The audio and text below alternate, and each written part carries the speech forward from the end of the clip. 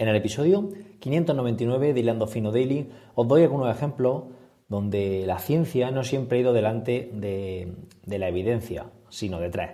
Venga, vamos al lío.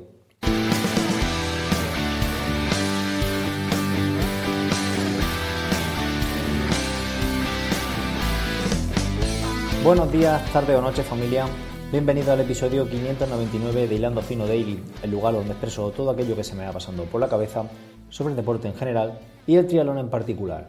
Hoy es miércoles 30 de septiembre de 2020 y nada, y hoy nos quitamos las anteojeras, abrimos el campo de visión porque no lo sabemos todo. Vamos a abrir la mente, vamos a no pensar que, está todo inventado y, que hay más cosas que podemos no inventar nosotros, pero a lo mejor otras personas sí, o que podemos descubrir o que podemos ir mejorando sin, sin pensar que realmente todo lo que, lo que hay en el campo del, estoy hablando de deporte, evidentemente, en el campo del entrenamiento, de la alimentación, de, la psicología y demás, pues está inventado.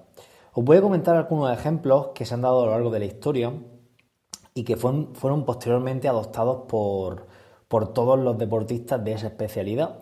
Eh, algunos ejemplos que seguro que os sonarán porque son bastante típicos, bastante, además bastante míticos, de, pues de gente que fueron innovadores en su momento. El primer ejemplo que quiero comentaros, o el primer caso, es el del ciclista americano Greg LeMond.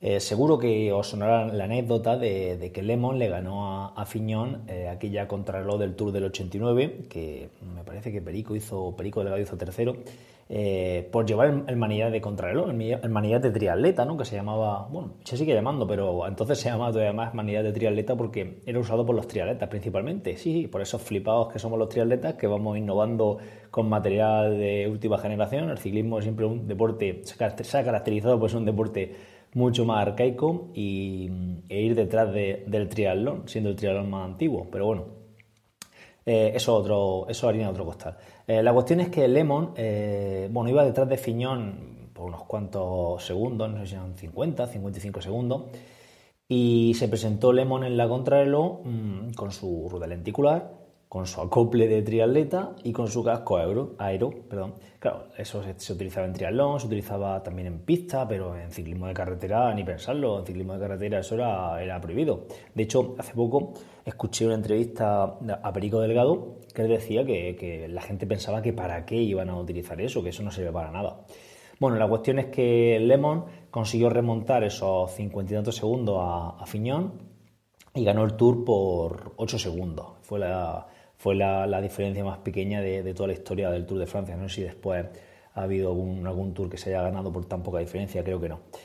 Bueno, fue una contrarromítica y desde entonces, pues realmente todo cambió. Todo cambió en el mundo del ciclismo en cuanto a la contrarreloj se refiere y ya pues, a partir de ahí pues todo el mundo empezó a llevar el, manillar, el acople, ¿no? Para, para ir acoplado vemos como mm, un, dato, un ejemplo de un deportista que ha usado algo, que ha innovado en algo, pues posteriormente empezó a estudiarse muchísimo más todo el tema de la aerodinámica y este tipo de cosas para, para, fijar los cánones ¿no? y, y, las bases de lo que sería una buena posición aerodinámica. No dudo que antes de, de esto no hubiese estudio al respecto, sería pecar un poco de ignorantes, ¿no? Si pensamos eso, supongo que también habría algo y por ello Lemon también eh, puso esa... Puso, no, olvidemos que estamos hablando de un, deportista profesional, ¿eh? que con todos sus medios, con todos los medios al alcance eh, en ese momento en, su mano. pues seguro que habría algún estudio, pero fue ese hecho lo que impulsó posteriormente a muchísimas investigaciones al respecto y que mucha gente pues, adoptara, adoptara eso. Bueno, y la cuña publicitaria de rigor, que no, que no se me olvida. bueno, curso de hidrodinámica que hemos presentado hoy en, la, la, web, en Hilando Fino Pro. Tenéis en las notas del podcast el enlace al mismo.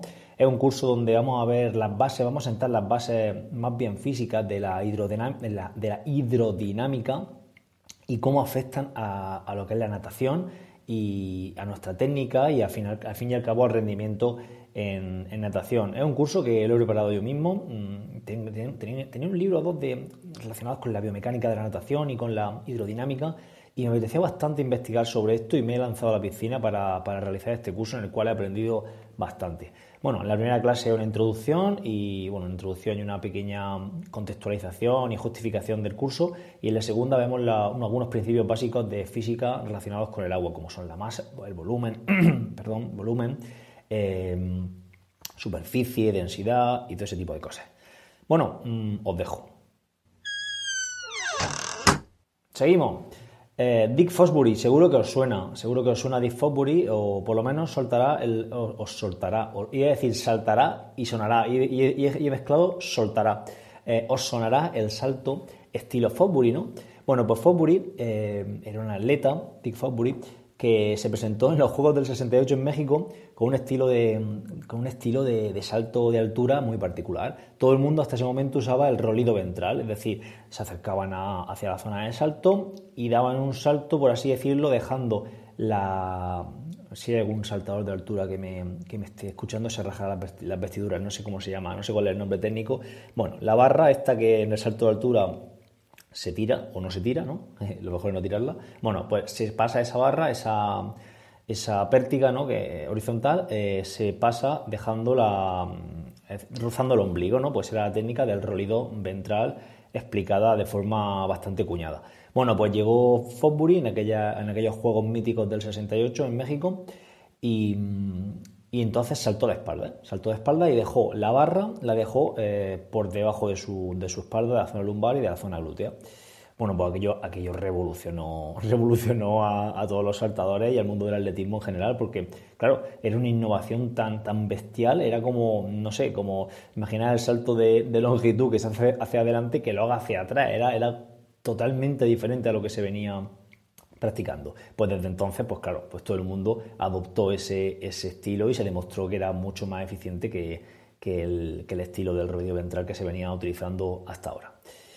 Y el tercer ejemplo que quiero poneros es de, la locomotora checa de Emil Zatopek. Emil Zatopek posiblemente bueno, ha sido eh, nombrado por mucha gente como el mejor atleta de fondo de la historia esto, lo de los mejores de la historia, esto da para, un podcast largo, eh, es muy discutible, pero bueno, en su época era el mejor, evidentemente.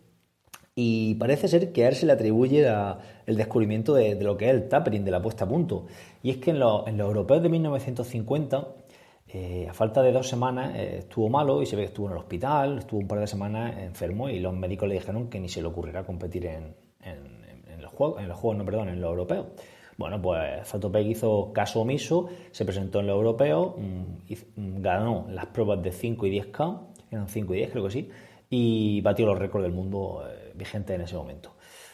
Pues claro, todo el mundo empezó a pensar que el descanso que había tenido, pues le había beneficiado en esa, en, esa, en, ese, en ese momento del rendimiento y desde entonces pues empezó a estudiar muchísimo más el tapering hasta que posteriormente pues un, un investigador relacionado con la natación pues denominó el término Tupper y todo este tipo de cosas. Bueno, eh, la cuestión es que posteriormente, dos años después, Helsinki en 1952 ganaría el oro en 5K, en 10K eh, y en maratón, en 5.000, en 10.000 y en maratón, en, los Juegos Olímpicos de Helsinki. La verdad que Zatopek era, esto leyendo, era un espartano del entrenamiento, ¿no? Bueno, pues como podría ser cualquier atleta de aquella época, supongo. Se, comenta que realizaba hasta, hasta intervalos de 30 por 1000, recuperando un minuto, 30 kilómetros. Chavales, 30 kilómetros eh, eh, de serie, qué locura. Y entrenaba con botas militares para ganar fuerza. Bueno, esto no lo hacía Zatopek. Yo recuerdo cuando tenía 15 años eh, correr con botas de punta de hierro, de estas que llevan los, lo, que llevan la gente para trabajar. Pero bueno, fue, fue en, alguna ocasión porque no me daba tiempo ni a mi casa a cambiarme porque había quedado con gente para salir a, correr, bueno, a correr, a, hacer el ganso.